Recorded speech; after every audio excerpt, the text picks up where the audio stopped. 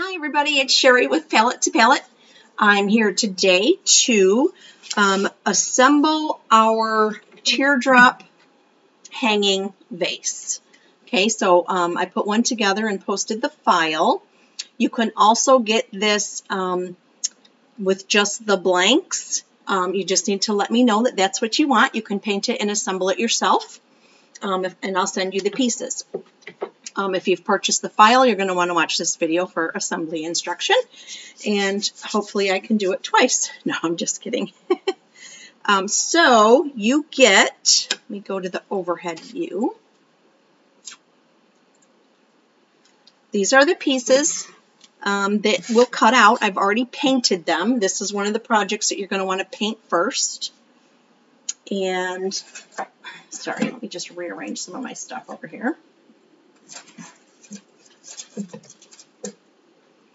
So the first thing that you're going to want to do is um, make sure that you can get these two pieces um, just go together like this and they sit in the little cross um, cutouts that are on the bottom.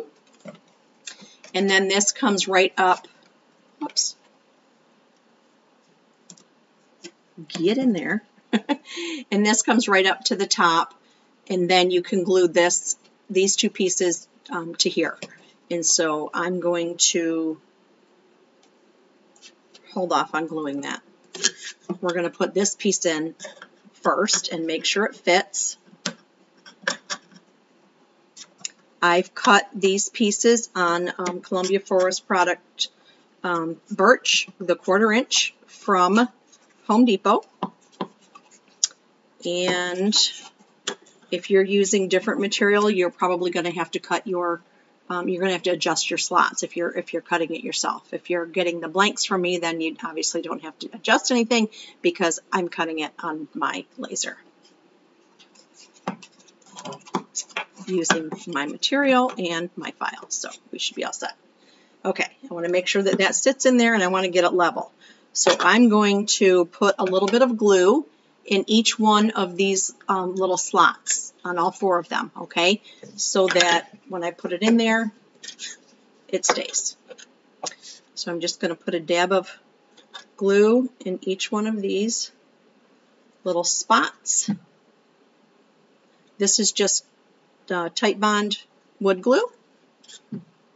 It's what I use with most of my stuff, unless I'm using the whiteboard chalkboard, which I like to do a lot of, um, stuff on the whiteboard chalkboard uh, material that I get from Lowe's. Then I use um, the, it's a CA Thick Fast special formula glue that works good on the, the glossy whiteboard. Okay, so I'm going to hold that together and I'm going to put this in there.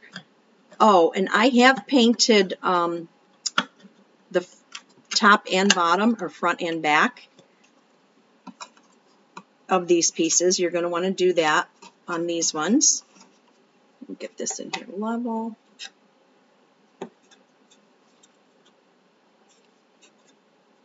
The only one that you won't see front and back of is, is um, the circle that goes in here on top of that. So You just got to play with it a little bit until it looks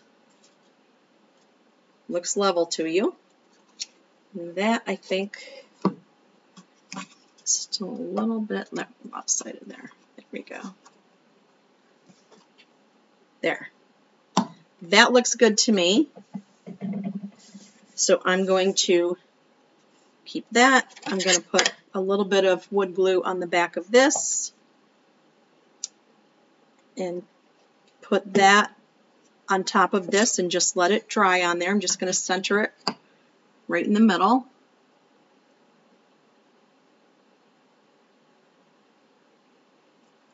Just make sure it's down tight. Um, clothespins work great for two layers of this material. So I'm just going to stick two clothespins in there to hold that still because I'm going to be moving around the top a little bit. All right. Now, what I did um, on the first one was I put two of these through the solid one.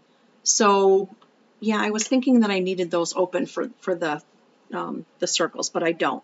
So I'm just going to put a little dab of glue there. And then I'm going to do it on the other side as well. And then I'm just going to hold it together for, for a minute or two.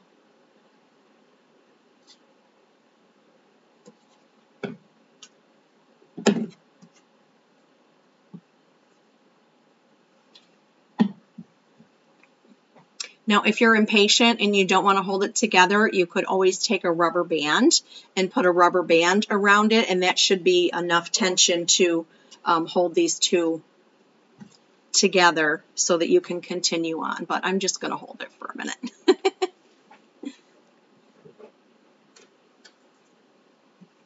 and I'll try to actually bring this up and show you what I did on this side while I'm holding it. I'm going to Oh, you can see it from here.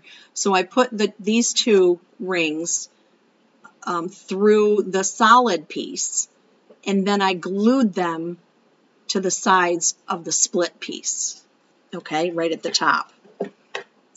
So the solid piece is this one because I've glued this one and this one. So I'm going to spread that open a little bit and put that through there. And then I'm going to do the same thing to the other side. Okay, so these are both through there now. And now I'm going to glue them to this piece up here with that slit kind of just over at the side a little bit. I don't know if you can, where's the slit? Okay, see the slit is right here. And we're just going to put it at the side so that it doesn't come through when you're hanging something on it. I don't know if you can see how I did it on this one. See the slits are not um, where the the frame of the vase can come through.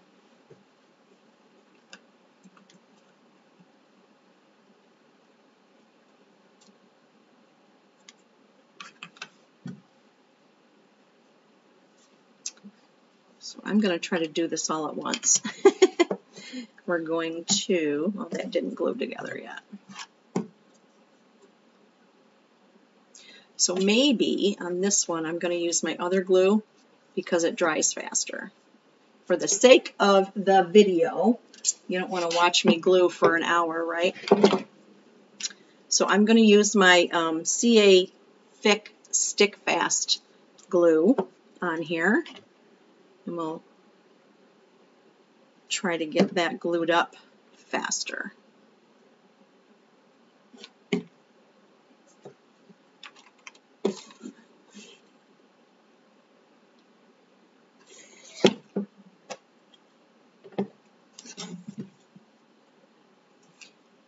It's a it's a super glue, but it's um, it's a really good super glue and it's a really expensive super glue.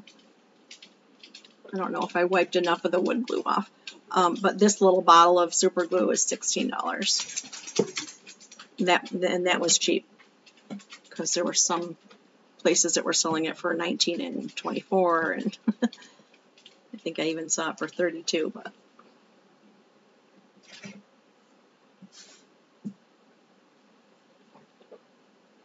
See, it's almost glued already. it's almost dry already.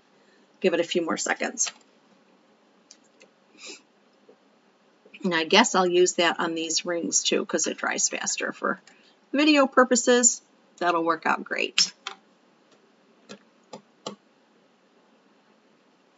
And I'm sure that that's dry enough. I can take those off now too.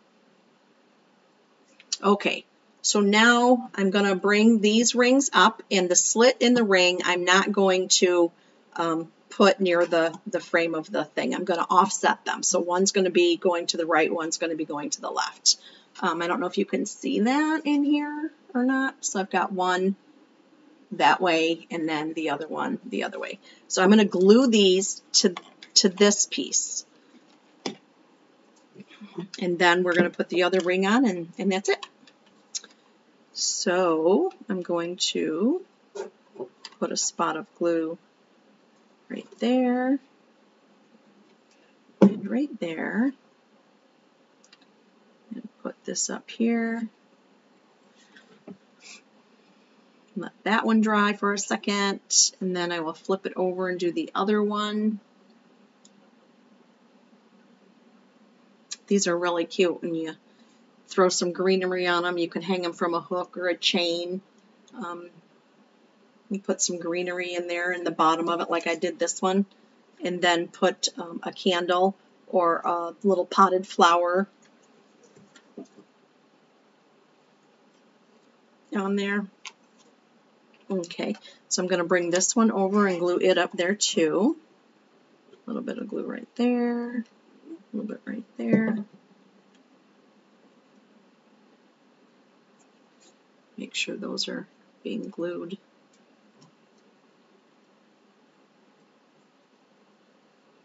centered. Okay. Hold that down. You don't need glue for the last one. So once it's glued down, you can just take the, um, the final ring and put it through both of those. So you're just going to take it and put that up there for a second. Just bend it a little bit and get it through. I'm trying to keep it in camera view and it's moving.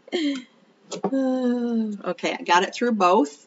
And so then when you hang it, obviously you don't hang it where the where the hook is or where the hole is. Um, you just hang it from there. And that's the assembly of that one. Here's the other one that I did with the greenery in it. Done the same way.